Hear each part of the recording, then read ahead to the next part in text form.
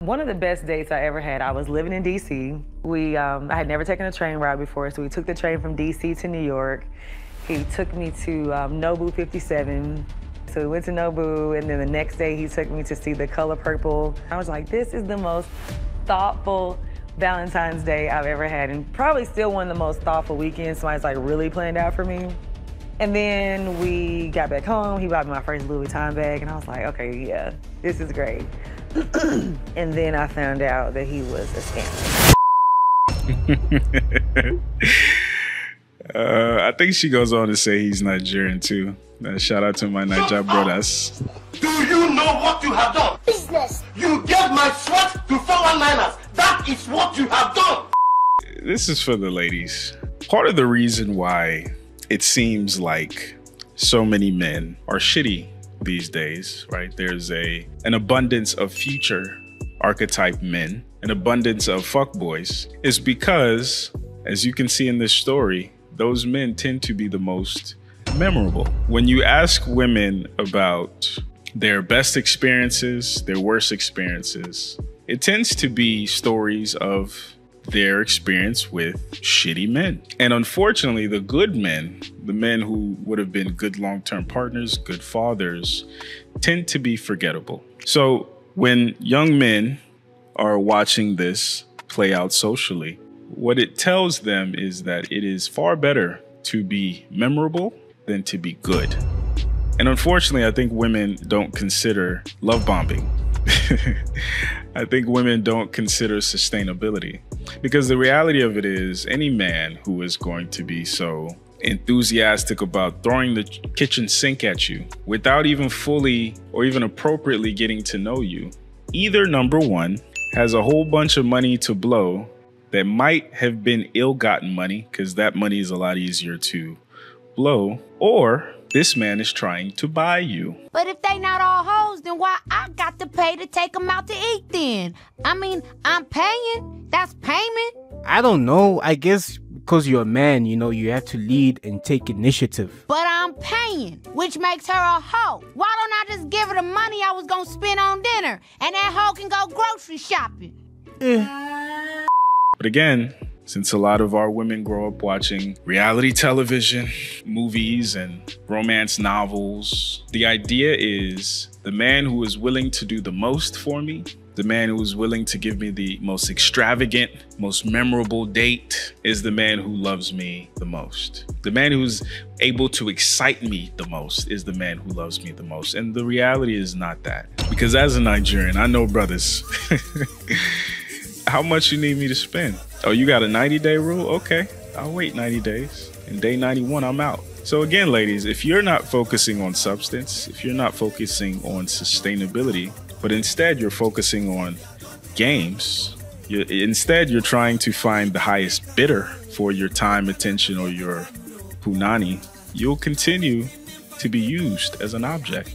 Because again, there are some men who take pride in conquering for the sake of conquering however long you need him to wait, however much you need him to spend. Matter of fact, he'll hire a professional date planner to, to give you the most extravagant experience you've ever had in your life. And because you're so blown away by the, the, the pageantry of the experience and you didn't focus on y'all's conversation, you didn't focus on the synergy, you didn't focus on shared values, you didn't focus on asking yourself the question, is this somebody I would want to be stuck in the house with during a thunderstorm where there's nothing else to do and we're bored. Because that's that's what life is like. You can fall in love with anybody who takes you to dubai. You can fall in love with anybody who takes you to nobu or buys you a bunch of expensive shit. That's easy.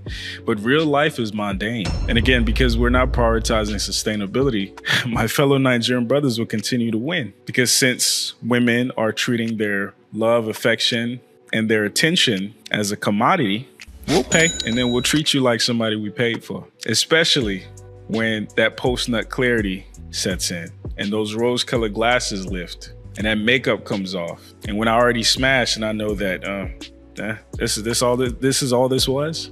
What good Samaritan brought me home? Well, hey, Silver Fox. Ready for another porch pound? Oh, f me. Jawohl, mein Kommandant and the other thing I'll say too is like we talk a lot about how men have men are immature, men won't grow up, you know, men in their 40s act like children. But the reality, a lot of women have Peter Pan syndrome as well. A lot of women still think they're princesses. Right? Shout out to Maggie, the substitute teacher. She said that whereas men tend to see themselves in young men, women tend to see themselves as young women. So basically, there's still that little girl in most women. And in a, in a way, it's a beautiful thing, right? That youthful exuberance and things like that, that youthful energy. But in other ways, it's ridiculous and it's immature. You have 50 year old women who are still waiting for their Prince Charming to ride in and with, with his white horse or white Mercedes, real estate in Aspen, and he's got a beach house and a lake house and a ski resort, and he has no kids and he's successful and he's mentally stable and he's the best sex you've ever had. And it's like, a lot of that stuff is super immature, but we don't think about it that way because we live in the culture that you could have it all. You don't have to quote unquote settle. And not only can you have it all, you are deserving of it all because you're God's gift to everything.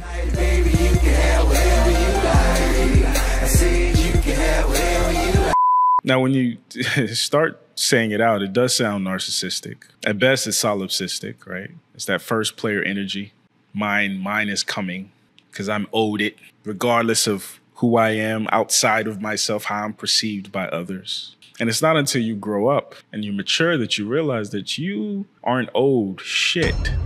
Hey, if you've made it all the way to the end, please click that like and subscribe button. Also, share this with somebody that you think would gain value from it. Also, shout out to our Patreon executive producers and VIP members.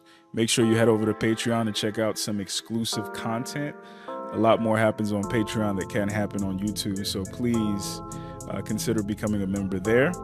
Click the thumbnail at the top if you want the full video. Click the thumbnail at the bottom if you want a video that's closely related to this. Again, like, share, subscribe. Appreciate you guys for watching. Check out some more of our content. And I'll see you guys in the next one. Peace.